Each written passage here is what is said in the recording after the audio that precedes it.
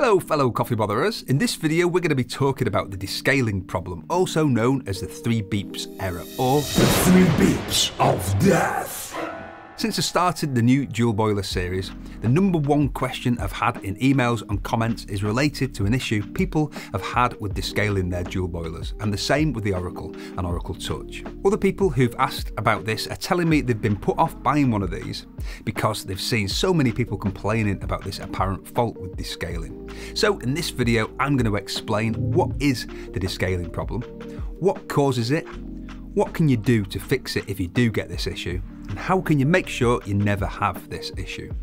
So what is the descaling problem? This is an issue that happens after descaling in which you turn the machine on and it beeps three times and the steam boiler doesn't heat up which is why some people refer to this as the three beeps of death.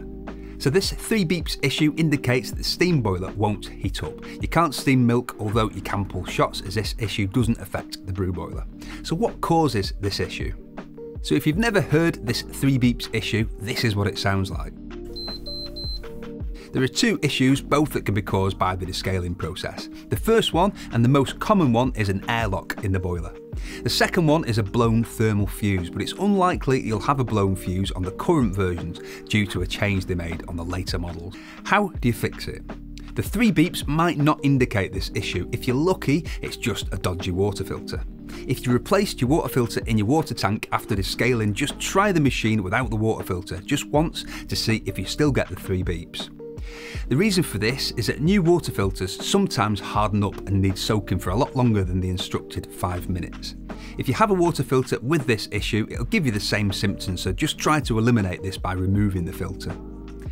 If it does turn out to be the filter, brilliant, you just save yourself a load of time, just soak the filter overnight and it'll be fine.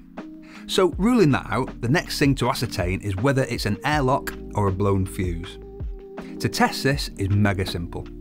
All you do is make sure the steam boiler is empty by opening the right hand valve and letting it drain and then closing this valve again. Then turn on your machine and listen. If the pump engages and runs for about 2 minutes to fill the steam boiler, then that tells you it's not an airlock, it's probably the thermal fuse. If the pump only runs for a few seconds and then stops, that's good news as it means it's more than likely just an airlock.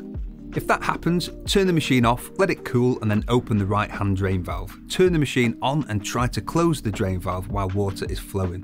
Just try this a few times and see if you can remove the airlock this way. But only try this for a matter of seconds before you turn it off because if you have one of the older machines you could blow the thermal fuse doing this. I've heard that some people have had some success from carefully tilting the machine back and tapping it with the heel of their palm on the right hand side and then repeating the process I've just mentioned. So that's worth a try. If that works, happy days.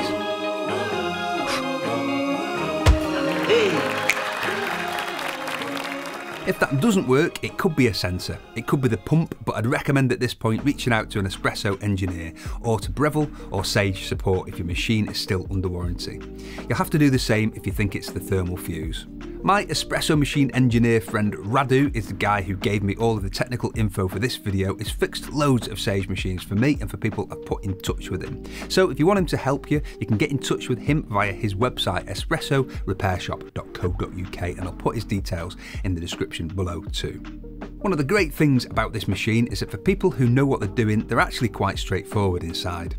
Any espresso engineer will be able to take the lid off this and figure it out. It might look like a kitchen machine on the outside, but it's basically a commercial espresso machine on the inside.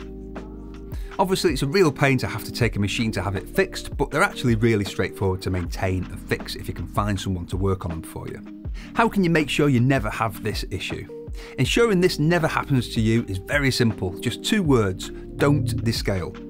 Although this looks like a home coffee machine, they're designed internally based on high-end commercial espresso machines. This is what makes these machines so great, it's why they produce such amazing results. The only issue with a machine like this where descaling is concerned is that they can't be descaled like domestic machines where you simply flush the water intermittently through the steam wand and the group. You could do that with the brew boiler but it's not the brew boiler that's usually the issue. They've put the drains in to try and make descaling possible without taking the machine apart, but as we've discussed, issues can happen when descaling this way, mainly airlocks. Now they appear to have stopped the potential issue with the thermal fuse blowing. If you're not the kind of person who's comfortable with taking espresso machines apart and tinkering with them, you'd be far better off using water that doesn't require regular descaling. If you're comfortable with DIY and you don't mind watching some YouTube videos to learn how everything works, descaling isn't an issue. If anything happens, you'll be able to sort it. Also, in this case, you'll be able to keep your dual boiler going strong for a long time by keeping it well maintained, which is the key to longevity with any espresso machine. The issue with some domestic espresso machines is you can't really tinker with a lot of them, even if you do know what you're doing, but that's not an issue with the dual boiler. But if this isn't you, if the thought of taking the lid off your machine makes you feel sick, then my recommendation would be to use soft water so you don't have to regularly descale it. These machines need to have a descale process because they've been purchased by home users, most of whom use tap water. But you don't have to use tap water, so if you want to use a high-end machine like this, but you don't want to face the potential challenges that come with descaling a machine of this level, you don't have to. So this leads to the question, how do you use soft water if you're not lucky enough to live in a very soft water area?